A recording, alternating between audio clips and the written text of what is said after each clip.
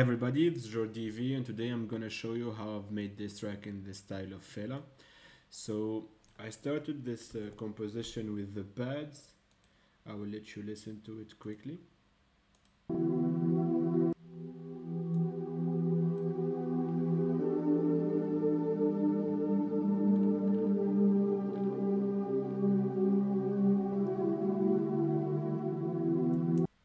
So nothing complicated here, just a couple of chords in the key of uh, E minor if I'm not mistaken. So yeah, I've played the chords on the um, Diva VST. I later added some uh, reverb with the Valhalla Vintage Reverb, a little bit of echo and finally some EQ8 to cut the low frequencies and add a bit of the high frequencies. Later I decided to add this piano on Omnisphere also some reverb and some compression. So for the piano, I just played the top melody around the chords I just composed with the pads. And yeah, I'll let you listen to the piano on solo.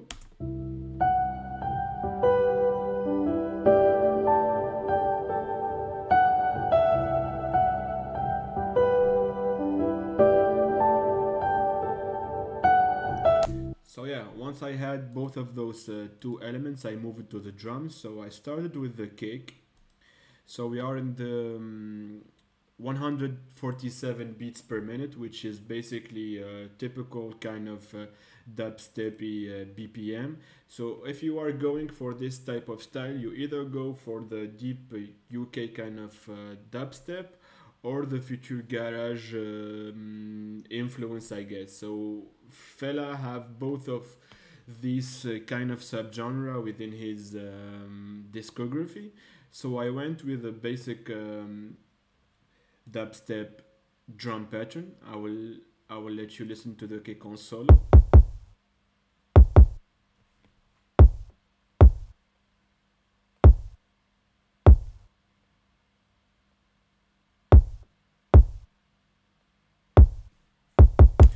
So processing wise, I just added a little bit of compression with the glue compressor. Later some EQ8 in order to cut uh, some of the mid frequencies since um, I kind of remarked that there is a little bit of mud here. Usually I will do it later on the master channel, but I've decided to do it here on the cake. Also cutting some of these uh, mid frequencies, leave uh, more room for the bass. So let's move to the next uh, element so we have those um, hi-hat pattern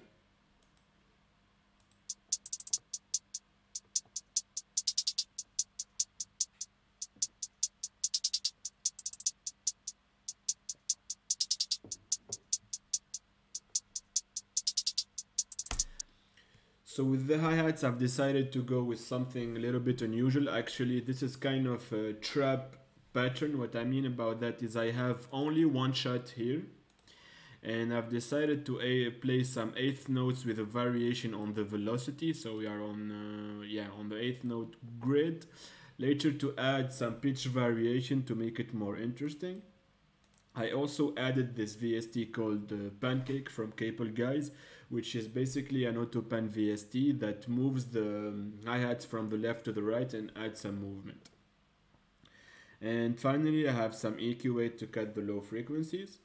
So the next element is an open hat, no processing so far. I just routed the, the output through the return channel. So I added just a little bit of reverb, sorry. So I will let you listen to the open hi-hats.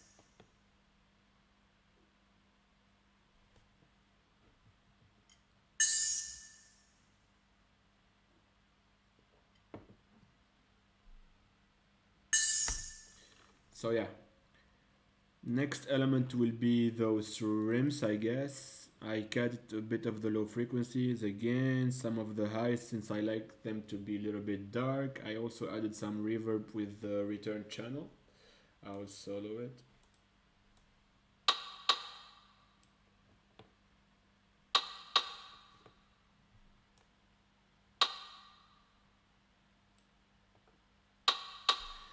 So no crazy pattern here, just a bit of movement, something to add to the drums. Later I added those shakers.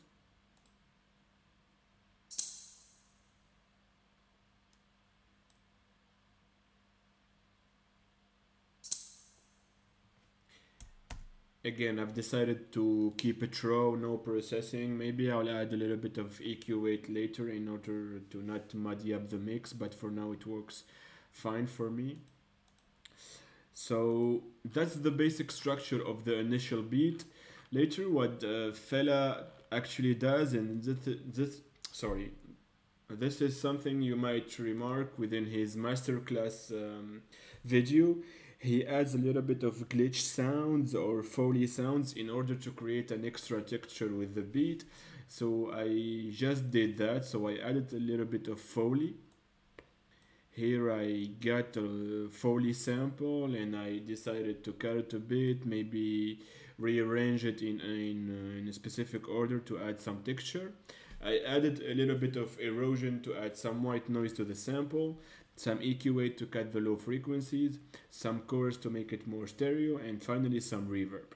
So if you listen to the drums, let me solo my drums here with the Foley Sam.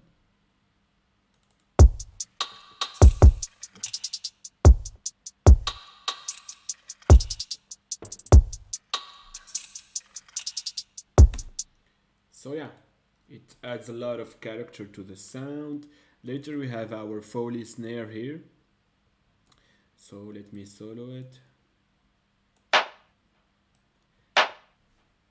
Some EQ8, some um, ping pong delay here on the return channel.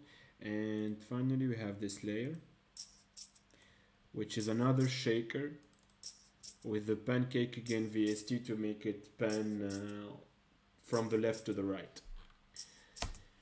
So I might expand on my return channel later since this is the uh, technique that Phaeleh used. So he usually adds a lot of return channel with various elements and VSTs. So before starting a track, he adds like a couple of return channels. He had his pitch delay there, his um, echo, his reverb, and throughout the track, he route his elements to those return channel in order to create more movement. So I will expand on my return channel later. As for now, let's move to the bass. So for the bass, I have this um, preset on Serum called Deeper Reese.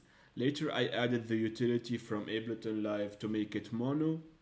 I also cut some of the high frequencies since we know we don't need them on the bass and some of those low frequencies since uh, we won't hear them anyway so might as well cut them from the mix it make it less muddy. Later I added a, a compressor, a compressor, sorry, with a little bit of sidechain on the kick. So for the bass, it sounds like this.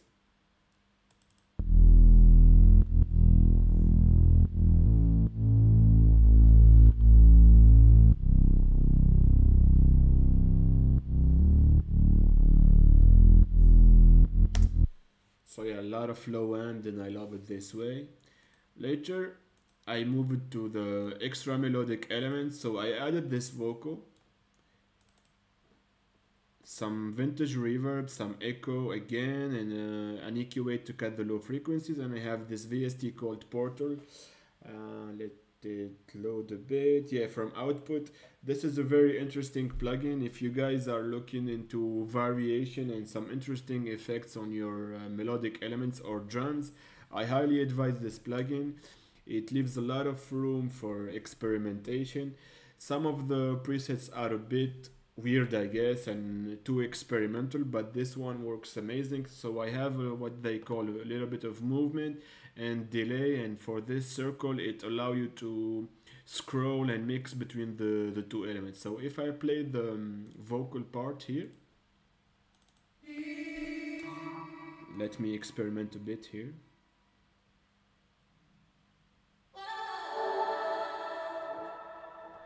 So yeah, super interesting stuff. I will let you experiment with the plugin and let me know what you think.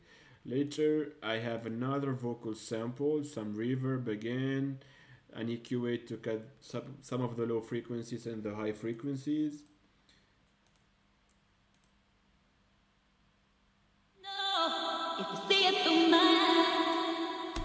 So yeah, I I have it routed through the my return channel, which is basically the C, this one, and I have a little bit of sound um, shifting on it. So I have the um, sound shifter from Wave plugins, which is basically on 12 semitones. So I'm adding a little bit of texture to the piano, I guess, and the vocals. So we having our original sample playing and a little bit of texture coming uh, from the vocals with a higher um, octave.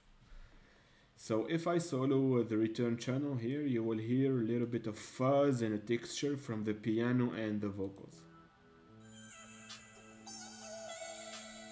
So again, on its own, it sounds weird, but played within the track, it adds some texture. This is actually a technique that uh, Phaeleh use a lot. So let's move to the um, to the other elements. So I have this vocal also which plays not throughout the track but at some part of it maybe at the intro and at the breakdown and again here by the outro. So the vocal sounds the sorry the vocal sample sounds like this.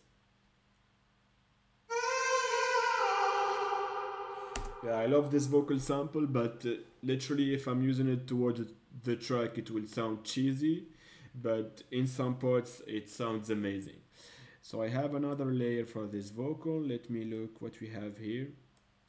So yeah, later I've decided to add some um, extra Foley sounds. So we have this. It's called the Rock Impact. Let's listen to it.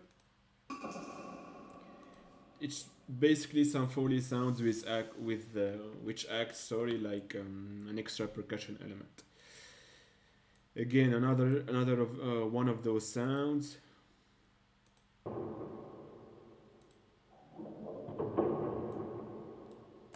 And finally we have this field recording that plays in the um, intro and in the breakdown and that adds a little bit of texture to the song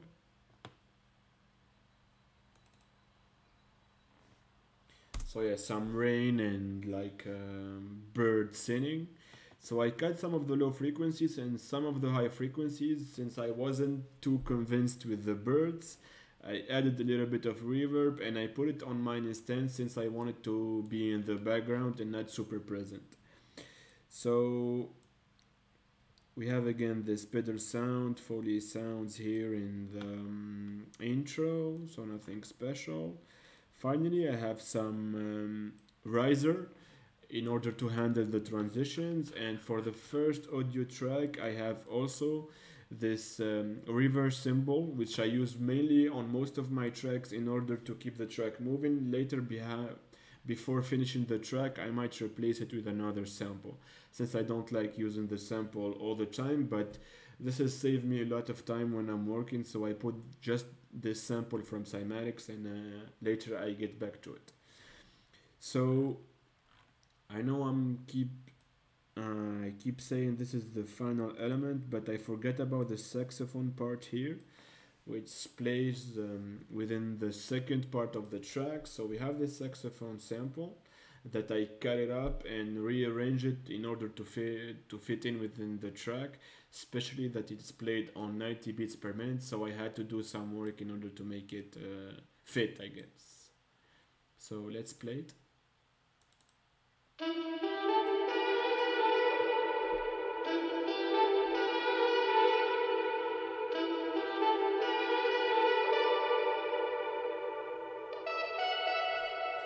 So yeah, as you might see, it's a little bit sloppy. Maybe I should later like go and play with the fades here make it perfect.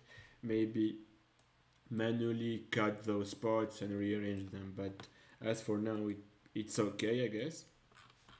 So yeah I covered basically most of the track last thing is again try to experiment with your return channel. As you might see here I have some reverb. I cut some of the low frequencies in order to not mud up the mix. I added a little bit of auto pan to make it uh, move.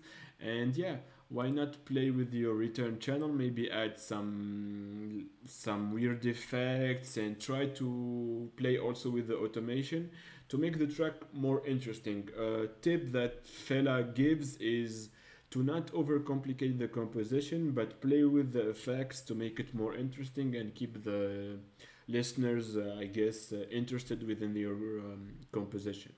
So i hope you learned something within uh, this tutorial.